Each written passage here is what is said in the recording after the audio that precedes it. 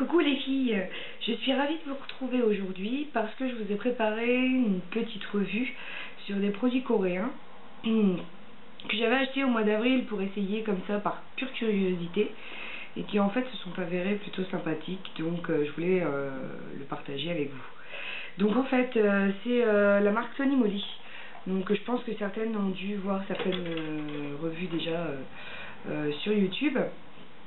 Donc les packaging se euh, composent comme ceci. Donc c'est des packaging super rigolos déjà à la base. Donc euh, les produits Tony Moly, il y en a un qui s'appelle Tomatox, l'autre s'appelle Appletox. Je vais vous faire une petite fiche euh, parce que j'ai noté quelques enfin j'ai noté quelques descriptifs pour me rappeler de tout ce que je dois dire dessus. Donc dans un premier temps le Tomatox. C'est un mélange d'extrait de, de tomate de kiwi, euh, de camélia et de citron.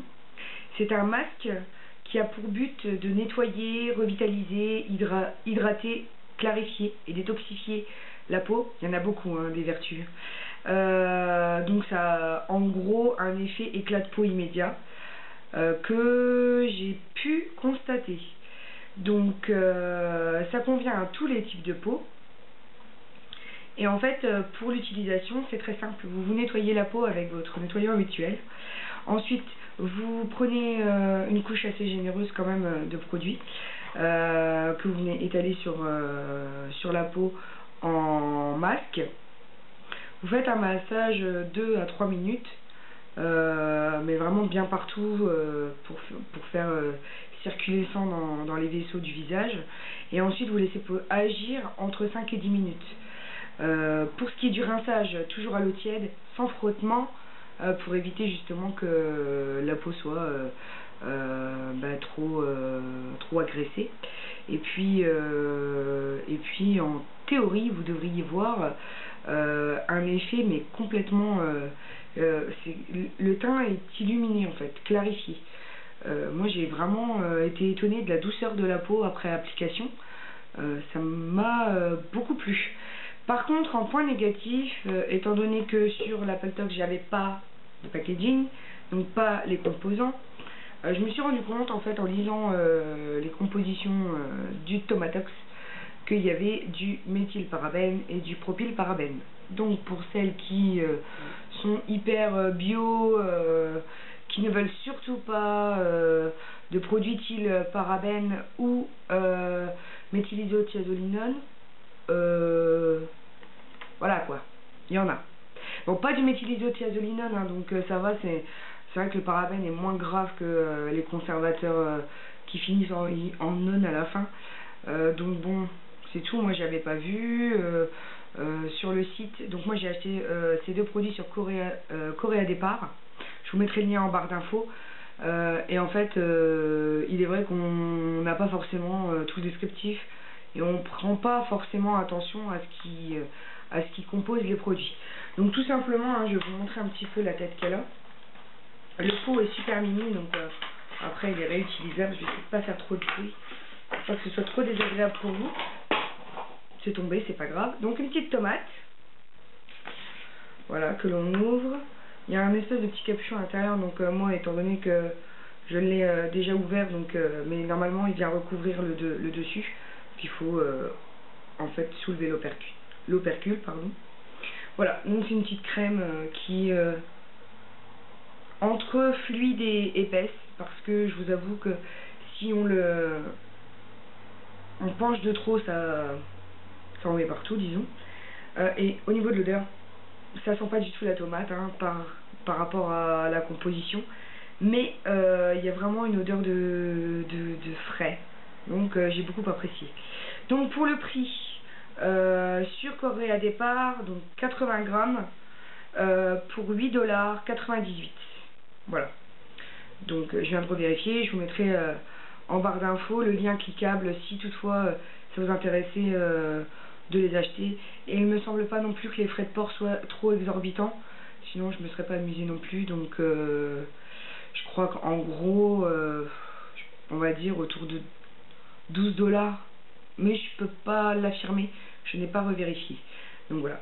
Et pour l'Apple Tox, donc de la même manière on ouvre euh, comme ceci. Ça a une texture par contre qui est un tout petit peu plus euh, épaisse, puisque on peut le retourner, ça ne tombe pas. Donc vraiment, le Tomatox, c'est euh, un masque crème qui va hydrater, et celui-ci, c'est un gommage. Donc, enfin, ils sont extrêmement bons. Donc, effectivement, à la pomme verte. donc, il est censé désincruster, lisser, hydrater et détoxifier la peau. Donc, en théorie, euh, il est aussi pour tout type de peau, ça, il n'y a aucun problème. Euh, au niveau du nettoyage, j'ai juste euh, pas du tout appliqué le produit comme il est décrit de l'appliquer à la base. Petite explication. Normalement, comme le Tomatox, on le pose, on le masse pendant deux minutes et ensuite on le laisse poser une minute et on rince.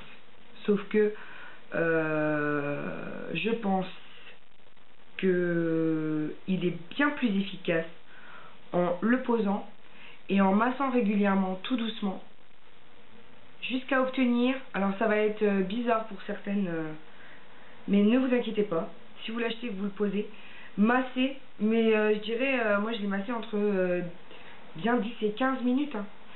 Et en fait, plus vous allez masser, vu que c'est un gommage, vous allez en avoir plein les doigts, c'est-à-dire que c'est pas la crème, ça va pas avoir une texture crème, mais quand ça va sécher et que ça va bien gommer l'ensemble du visage, vous allez voir, ça va faire une pâte avec des résidus. Donc euh, une pâte qui va qui à la base est blanche, mais qui va enfin qui va capter toutes les peaux mortes. Donc il va y avoir des résidus un peu euh, un peu marron. Donc ça va on voit vraiment l'efficacité au niveau euh, du gommage parce que ensuite quand ça va bien sécher, vous allez pouvoir venir récupérer avec vos doigts une petite boule de pâte qui va être vraiment euh, euh, l'ensemble entre l'abrasion et la peau morte. Donc c'est comme ça que déjà j'ai vu que ça fonctionnait très très bien. Donc je ne l'ai pas laissé sécher comme ça, enfin poser, mais je l'ai vraiment massé jusqu'au bout.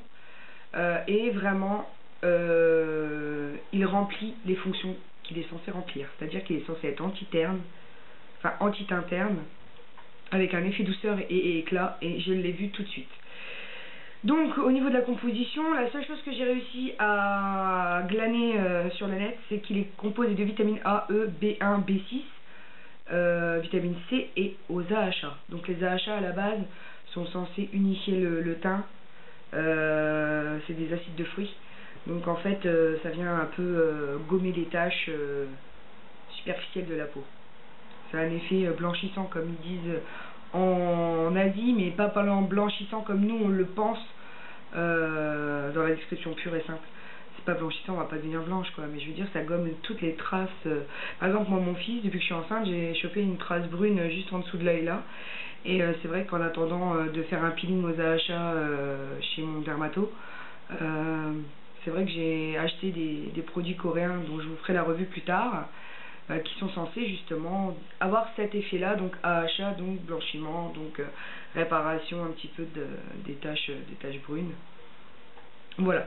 Donc le nettoyage de la même manière, sans frotter, euh, mais juste avec un, un rinçage doux à l'eau tiède. Voilà. Donc voilà pour les deux produits que moi j'ai achetés sur Coréa départ, dans la mesure où je voulais tester la marque Tony Moly. Cependant, étant donné que j'ai bien apprécié ces deux produits parce que j'ai vraiment pas été déçu, euh, sachez aussi qu'il y a le Red Apple Tox, donc c'est une pomme rouge. Donc euh, pour les vertus, euh, je vous avoue que je n'ai pas été regarder la description, mais c'est aussi un masque hydratant. Il y a le Egg Pore, alors les Egg Pore c'est des œufs, enfin, c'est des petits savons en forme d'œufs et des crèmes en forme d'œufs. Euh, qui sont censés euh, réduire les pores et minimiser euh, la largeur pour avoir un teint bien plus lumineux et bien plus unifié. Donc je pense que mes prochains achats ça va être ça. Et il y a aussi les mini berries. Donc les mini berries c'est des baumes à lèvres en forme de cerise et en forme de blueberry, en forme de j'ai pas la traduction en français là qui me vient tout de suite. Euh, de baignoire en fait. Baignoire. Pas la baignoire, euh, voyez. Mais euh, les baignoires, euh, je sais pas comment. Enfin, là je trouve pas la traduction, excusez-moi, ça. J'en perds mes mots. Mais donc voilà, c'est des petits gloss qui sont dans des, petits packaging de la même manière, super, super girly, fruité. Donc en fait, pour les prix, le Red Apple Talk c'est à 8,68 dollars. Le Eggport environ 7,22 dollars. Et pour les mini berries, c'est 4,68 dollars. Donc c'est pas non plus euh, une perte euh, énorme. Donc euh, bon après c'est sûr que s'ils mettent du parabène dans tout, c'est pas trop le, top niveau composition. Mais après je pense pas que je pense pas que ce soit vraiment trop problématique. Donc si c'est utilisé de temps en temps, c'est sûr que s'il y a du parabène dans tous vos produits et cosmétiques, bon là euh, c'est les doses euh, ajoutées les unes aux autres qui vont faire que ça pourrait altérer ou créer des cancers ou je ne sais pas. En, vérité, j'ai pas trop encore mis la main sur les effets néfastes du parabène, mais je sais que certaines personnes ont des allergies extrêmement graves en ce qui concerne le méthylisothiazolinone et tous ces composés euh, qui sont censés euh, conserver les produits. Voilà. Donc, euh, écoutez, bah, c'était cette présentation des deux produits Tony Moly que j'ai testés, que j'ai beaucoup apprécié, que je vous recommande vraiment. donc, n'hésitez pas à me poser vos questions si toutefois vous en avez. Et puis, et puis voilà. Et puis. J'espère que ça vous aura plu et puis je vous fais plein de gros bisous. Et puis n'oubliez pas que la vie est belle en rose, donc profitez-en et à très bientôt. Bisous, ciao